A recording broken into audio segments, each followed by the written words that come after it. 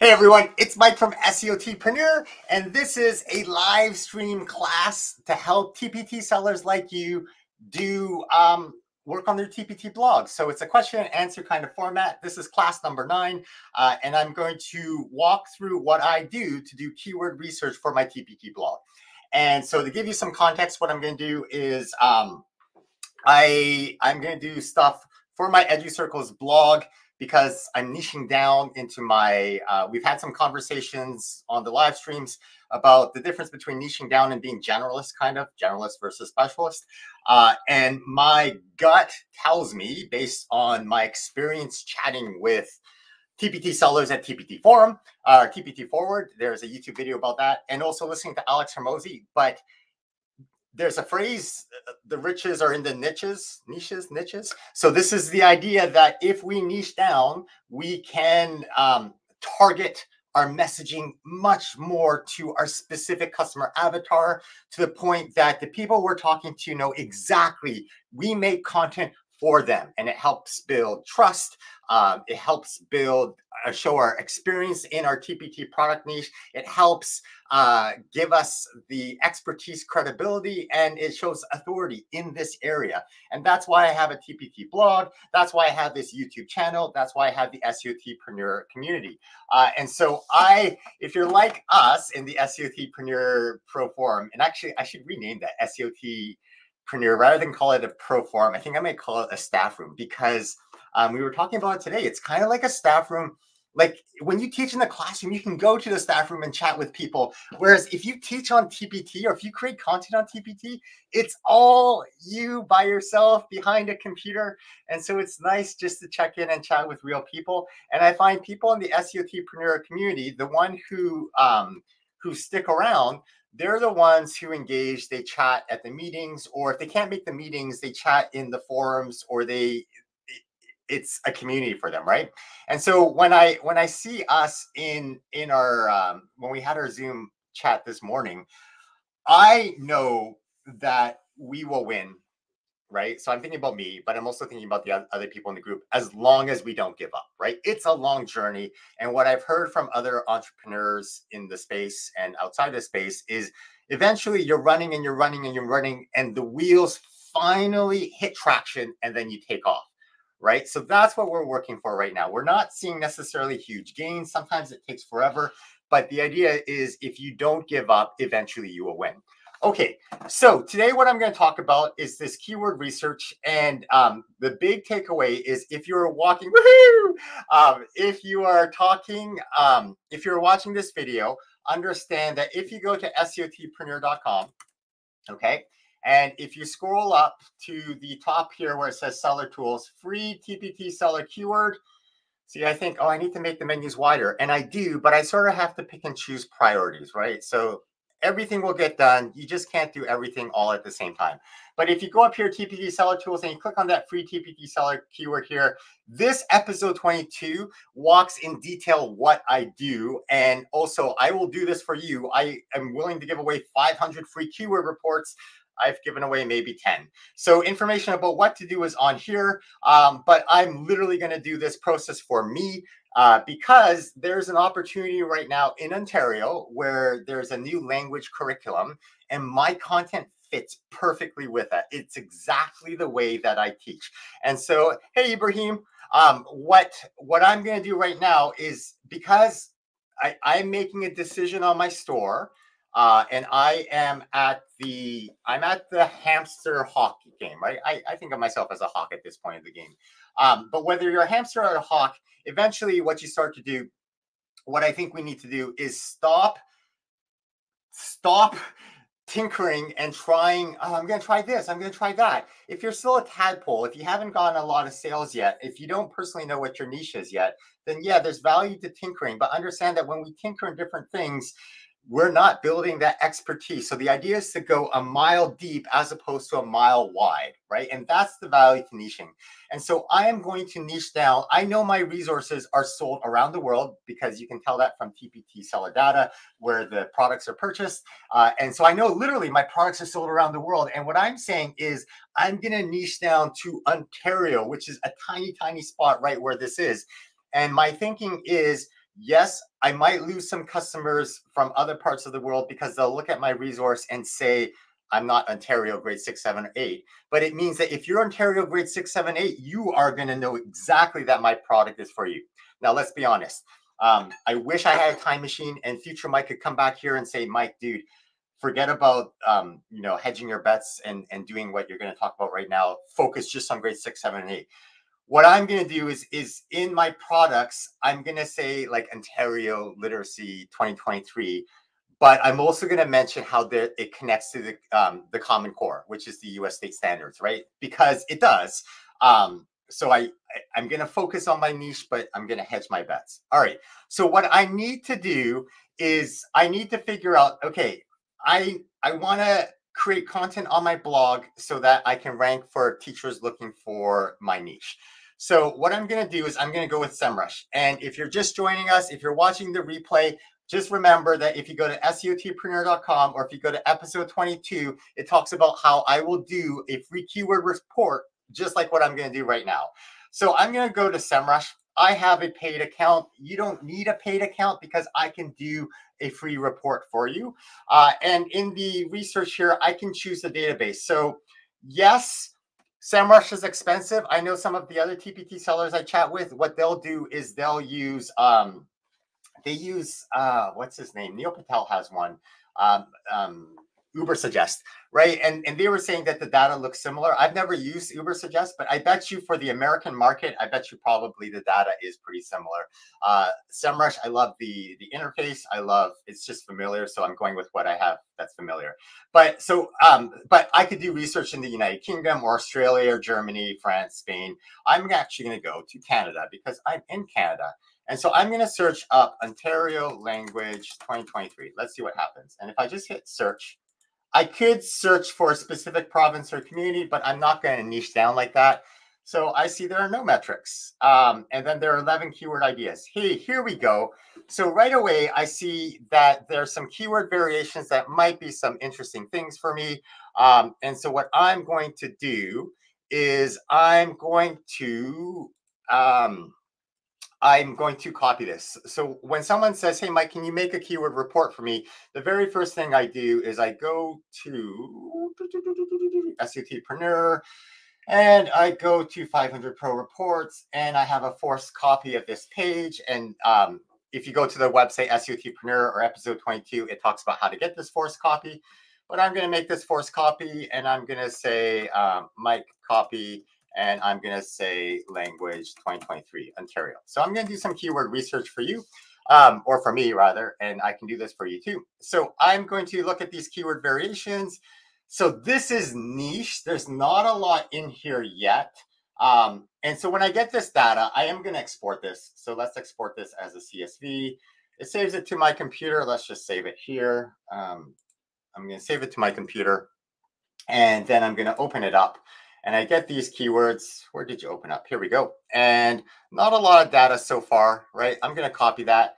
And all I do is I go into the Google Sheet. Now, I know that when I do this with clients, when I walk them through it, this part's a little bit intimidating because it's like, whoa, a lot is happening. Um, which is why if this is not your strength, then I can do this for you, right? So, okay, so let's just go over here. I'm going to delete this heading. And so uh, uh, let's delete this here. So I have a lot of information in here. Um, in SEMrush, a couple things. So it'll tell us um, whether the keyword is for information. Like so, SEMrush has an algorithm. That they have a secret sauce, and SEMrush will tell me this information is for someone who is looking to buy, like commercial intent, or this is searching for informational intent, or this is searching for navigational intent. So, for example, right now people are searching Ontario Language Curriculum 2023 to find the curriculum, right? That's why people are doing it. It's um, so there's a volume number. So this is 390 searches per month in Canada. All right. And that's probably all Ontario. I could niche down, but I'm going to stick. Uh, I don't need to search local metrics. Like I'm not. Mm, maybe I will. Maybe I will search. Okay. Maybe I will search by province. Um, because why am I doing this? I when I went to TPT Forward, if you watch that video, a lot of like I met a few sellers who niched down to their state or province and they were in the third milestone, right? Like 500,000 sales in total. And if it's working for them, it can work for us. So that's why I'm going to niche down to my, my area. Um, but see, if I niche down too much in the data, sometimes the data is not there, but I still see here. So in theory, if I optimize for all of this and I rank number one, I could get 600 visits per month. Okay, so I have this right here. What else do I do? I look for variations of this. I can look for related, but it's not going to show up anything there. So then I play this game. I try to figure out other, um, maybe if I type language 2023, what sh shows up over there? A Beautiful Life, language 23. So now not everything in here is relevant. Uh, language curriculum 2023, I, I think I already have that. Like if I click on that, what shows up? So this is where the game sort of begins. Oh, but I see 14 keyword variations here.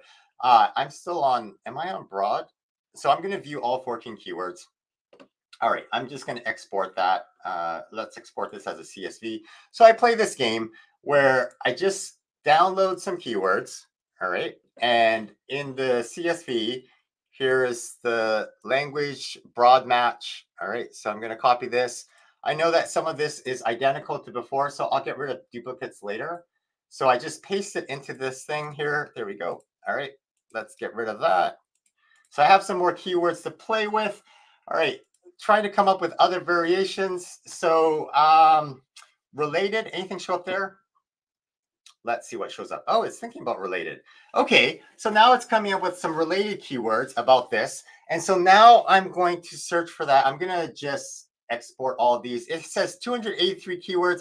I'm now starting to see when is the new Ontario language curriculum coming out. So in theory, if I write blog content for this, right, then I can start to rank and get traffic. My goal is to become perceived as well as actually to become an expert in teaching Ontario language arts curriculum 2023 for grade 7 8 students in Ontario. I think I have a great story. I think I have great resources. Um, and I think over time, eventually this brand will click and I want to be there. So I want to create content that applies to this. So I'm going to export all of this, export this, the CSV, Give it a second to save. Let's save it here. Let's open this up. It's going to open up over here. So I'm looking for keyword variations on this. Let's just copy that. I'm going to go in. I'm going to paste this into my, um, let's paste it there. All right. So some of this will be duplicates. I'll get rid of the duplicates later. I'm trying just to get ideas about this. All right. So um, now let's see if I go language curriculum. This is searching just for Ontario. Oh, no we lost the Ontario province here. Oh, okay, but it's Canada, which is fine. This is pretty specific here. Uh, okay, so what if I go language, um, Ontario language 2023 lesson? If I search for something broad like that, what happens? Uh, in the related search, nothing shows up. In the broad match, uh, nothing shows up. It's too niche. Okay, so what if I go language lesson? What do I get with that? See, now I'm starting to pull up other things. I bet you if I put in 2023, I'll start to rank a little bit better for that. Um, ooh, lesson plans. Sometimes, so in SEMrush, but all of the research tools, sometimes the search is so niche, there's just a lot there's not a lot of search volume in it. So for example, something like this, I can see that some of these have zero search volume, right? And then it says for metrics, try to refresh. I can refresh this, but that comes at a cost for me because SEMrush only gives a certain number of refreshes that I can do. So I generally don't speak do it unless I want to get up to date things. But I might, for example, here grade seven, eight language lesson plans Ontario. I might refresh this to see what the data is. So SEMrush kind of crawls the internet. They ref- some of the high traffic volume keywords get refreshed more than others, um, but sometimes just there isn't refreshed data available for that. Um, hello, why did you stop refreshing? Did you stop refreshing? Okay, let's just see if I can. Oh, it's still thinking. It's it's okay. So now it refreshed and it figured out the keyword density is 11, very easy, but there's still zero search volume. But I might still, it doesn't mean that no one is searching this topic. It just means that not a lot of people relative to all of Canada are searching for this topic, right? So I still might consider searching for it. But if I have to sort of pick and choose what I search for or what I try to go for my blog, I need to be efficient with my time. I am going to, however, export this. So let's export all 24 keywords, save it as a CSV. Here we go. So I'll save this. All right. Um, so now, let's open this up. All right. So I'm trying to rank for this new curriculum. See, there's no data in here. Um, but I will paste it into my, uh, oh, I don't want it. Okay, so I'll paste it into my CSV over here. All right. Ooh, so, oh, wait, did that paste? I clearly did not copy it. Let's try this again. Language curriculum. Uh, where's the low one? Did I, did I just close it? I might have. I need to say something right now. I have four viewers on right now. So to the four of you watching right now, you rock. Thank you. I saw two of you in the comments. Thanks so much for watching. For those of you who are watching the replay, ask me questions about your TPT blogs because otherwise I'll talk about what I'm doing. But if you have a very specific question, I find chances are you're not alone and that'll help us in um, to sort of have a, a big conversation about where to go with this. But okay, so I'm sorry. I'm just going to open up this CSV. This is a broad match. This, here we go. So here's the copy. I see some of these keywords. I saw like Russia in there. That's not relevant for me. So like, obviously not everything in here is going to matter, right? Like Dutch lessons, London, that's not going to apply to me. Okay. So now I might, I might do, um, so I, I will do one more thing, but I don't want to, I, I do want to do some analysis part in here. So this is where I ask my robot friend, right? So I have ChatGPT. Um, and I might ask, uh, can you give me some suggestions for keywords uh, to write about the new Ontario 2020 new language arts Ontario Ontario language arts language curriculum. Now it has a uh, it won't be able to give me new things because the time I, the data set only goes up until I don't know September something something right? But see, I look for ideas over here, uh, like Ontario language diverse texts.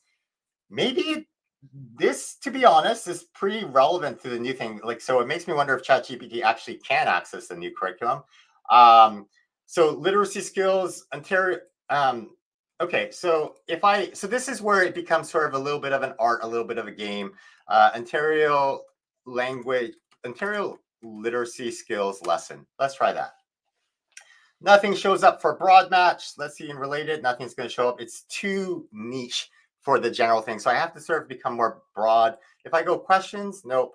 Uh, Ontario literacy skills. What if I get rid of that? Uh, questions, no. All, no. Broad match. Literacy and basic skills. 20 reasons why Ontario's literacy and basic. Like, but this isn't really my topic, right? Like, I'm not. This is I'm trying to capture the attention of teachers, right? Grade seven, eight teachers. So what if I just go grade seven, eight, intermediate lesson plans? All right, so if I search that, so this isn't about the curriculum anymore. This is more about lesson plan. Let, let's go with broad match. Uh, grade eight. What if I go intermediate lesson plan? Ooh, I'm getting some research here. ESL. Okay, so I don't want ESL. So I can actually exclude that, right? So I excluded ESL. So free English lesson plans. So now I have 131 keywords. Um, business English. Okay, so I'm going to now export all these. Let's just export that. All right. Uh, and what I'm going to do, here's my CSV, right? And so if you're just joining us, you're just watching this part, I'm walking you through something that I will do for you. 500 reports I'm trying to give away. So I'll do a keyword report like what I'm doing. Uh, watch the beginning of this video to find out how to get that. I just exported the CSV, right? So basically, I'll play around with the data for about 30 minutes. So, all right. So here I have a bunch of stuff. I'm going to export this. Uh, let's paste it in here. All right. So paste. There we go. Get rid of this title heading. All right. Uh, and then what I do, I want to get rid of some duplicates. So I just go, let's see, select that data, data cleanup, remove duplicates. Data has heading rows, um, select all, remove duplicates. There we go. Boom. All right. So I got rid of 11 duplicates. I see here a keyword title. Let's get rid of that. All right. So now comes to the fun part. I mean, fun part for me because I love you know, data. Uh, now what I'm going to do, I just make sure over here on the side here, I have difficult rating. Okay, so a couple things. Volume is search per month. Keyword difficulty. Oh, see, there's uh, this data here. So um, it's doing a broad match. It's doing like how related are these terms, and so this won't be a problem for you. But um, what I need to do is I need to shift these things over. So I'm going to shift them over. This happened before in the past. Delete cells, shift cells, and shift left. Okay. So what I have over here, and now I just lost this. All right. Um, so boop, boop, boop, there we go. Okay. So I have here search by volume, right? And what I can do is I can do data, sort the range, advanced sort, search by volume, go in from largest to smallest. So the largest volume here is Ontario Math Curriculum. That doesn't apply to me at all because I'm not a math teacher. I probably should have gotten rid of that. So um, I might. So this is something when you get the report from me, you can sort of go through and delete some things, right? Alberta curriculum that doesn't apply to me. Alberta, I know that doesn't apply to me, so I'm just deleting the row. Alberta. So this is just um, these are probably related keywords that sort of popped in here, right? New Learn Alberta. Nope, not for me. Uh, curriculum, government. So curriculum, yeah, but I'm not going to search for that because this curriculum word has 720 people searching for it. The difficulty rating is 74, which is ridiculously hard for new TPT blogs. Like, so for context, uh, I have a website, maybe 10, 13 years on the run, on, on the run. Um, I don't update it as much anymore. I was able to get to the first page um, for a keyword difficulty that's 74 right? But if for a new website, you're looking for things that are like 20 to 30 in this keyword difficulty, super easy, right? But when we chat, we're looking for a keyword strategy to go for 40 to 50, right? Because in the long game, like we're going for something that's a little bit out of reach, we create, and that's called a key, keystone content. So eh, for context, if I go to reading strategies, so this is what we're building here, right? So if I have a niche website, my main keystone content that I'm going for is reading comprehension strategy. The long tail keyword here is reading comprehension strategy PDF, which is easier to get. But fortunately, the smaller keyword that I'm going for, reading comprehension strategy, is in there. So this is the keyword that I'm going for. And all of this sub stuff, right? Like active questions or asking questions, making connections. Those are all smaller keystone content pages that all point up to a pyramid. So my website needs to be a popularity content so that when people land here, they know instantly reading comprehension strategies PDF.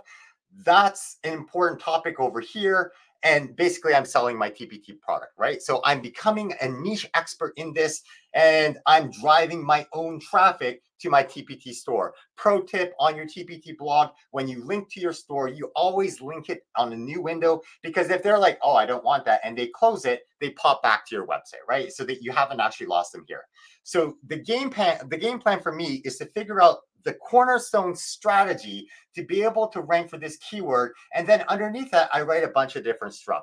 And so for me, for the curriculum, what I'm going to do is like, I'm going to have up here probably learning like whatever the new curriculum is. And then I'm going to hit each curriculum strand so a teacher can dive into the curriculum strand and then say, what? This relates to me perfectly. And then I'm going to send them to my Teachers Pay Teacher store, right? So I have a freebie because freebies are important. So make sure that you, and I probably will put this on the front page.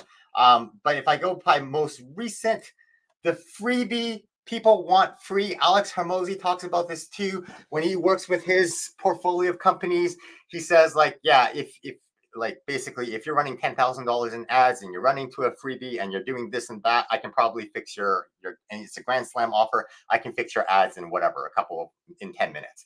But the idea is go with that freebie, right? So I have this freebie, um, and uh, I'm not logged in. So I, oh no, that's most recent. Hello. Oh, it's not? Wait a second. Sorry. when you do most recent, for people who are watching, do you get your freebie showing up at the top? Because um, I just published a most recent product, which is my Ontario, and it's free but it didn't show up at the top, which was a new experience for me. Sorry. Okay, so I have a freebie. Make sure you have a freebie on your blog. And my freebie, so my strategy here is I am upselling my freebie to my main selling products, right? So this is my Ontario curriculum freebie. It has all the curriculum strategies that I made nice posters for. It's the EduCircles unofficial guide. But then on my first page, I have upsells to my main stuff that I'm trying to sell. And when I put this out, I noticed that I sold my growth mindset uh, bundle. And I also sold my everything bundle. And that's what I'm trying to upsell to. So on my blog, when I do my Keystone research, I'm trying to make sure that all paths lead like I'm being strategic. I'm trying to sell you on on these big selling products and I know that if my if I do my keyword research right and I hit the new Ontario curriculum, then I'll be able to help more teachers find my products and it fits exactly to the curriculum. And then I hope some of them will become TPT sellers. So if you're watching this and you're in Ontario and you want to become a TPT seller, come say hi. Um, okay, so I get rid of stuff that don't relate, relate to me, math, login, right? So I can do this uh, program, Alberta. All right, so basically I can see right away, although I started thinking, yes, Ontario Language Curriculum 2023 has, um, right, that has 390 searches per month right now. The keyword difficulty is 34. So if I optimize for Ontario Language Curriculum 2023, I will probably do quite well. SEMrush thinks it's navigational, which is true, right? People are looking for the actual curriculum. But if I actually provide value and say, hey, here's how you can teach uh, intermediate stuff to this new curriculum, I think I'll get some people interested. Um, something in here when I do your research for you. So over here, I have graphic graphs. Okay, so pivot table with commercial intent. I can see what people are looking for in terms of like, okay, SEMrush thinks if you're searching for this keyword, you're intending to buy something. So for example, Ontario and elementary curriculum, people run ads. So the average cost per click on Ontario elementary curriculum, I'm not spending a dollar a dollar four cents, but other people are running ads on this, right? Math in Ontario. Uh, so I might look in here, I might think, okay, well, some of these don't apply to me, but some of these, um, like Ontario elementary curriculum, yeah, that people are running so Ontario Elementary Language Curriculum, grade six, seven, eight. That might be something you consider. If I look at volume, so this is purely, I'm looking for outliers, right? So this one up here, Ontario Curriculum, it's super easy between 20 to 40 to be able to go for that. Ontario Curriculum. So I'm going to go Ontario Curriculum. I'm going to say yes. Um, if I go for Ontario Curriculum, I can probably get Ontario Language Curriculum 2023. So I'm going to go for Ontario Language Curriculum 2023, but I'm also include Ontario Curriculum. And in here, I'm going to put lesson plan. So it's obvious that um, I'm selling for lessons. Okay, so let's do some more analysis here. Uh, if I go back to the volume outliers, this one's interesting. Curriculum, I'm not going to go for that because that's just too vague. It's not going to help me. Um, what's this one here? Ontario Language Curriculum, that's Ontario Curriculum. So if I go logarithmic, it sort of spreads it out. So this is teasing out the data. And the goal here is we're looking for keywords that are high for search volume and relatively easy between 20 to 40. Ontario language curriculum, Ontario curriculum documents. Those are people looking for the actual curriculum. I'll link to that because then when I link on my blog, you want to make sure you have at least one outbound link to a credible source. So because otherwise it looks spammy. Uh, so Ontario curriculum language. Okay, if I go with a cost per click analysis, where are people renew by science? Yeah, I'm not gonna. That doesn't apply to me. Uh, these are all too squished down here, so I can't really see anything. So I'm to go with the logarithmic scale, uh, which teases it out a little bit, but not because that renew by science is skewing things so much. So I'm to go to the data. I'm to find renew by science. I'm to get rid of this because it's skewing my data. Let's delete that. Here we go. Um, all right, here's the logarithmic. So now if I go by cost per click, all right, learn education, K to six. Uh, yeah, nothing in here really. I'm looking for a high volume, low competition, right? Education curriculum, that's already on my radar. So what I've now done as a result of this data analysis, all right, I'm going to go after Ontario curriculum. I'm going to go after Ontario language curriculum.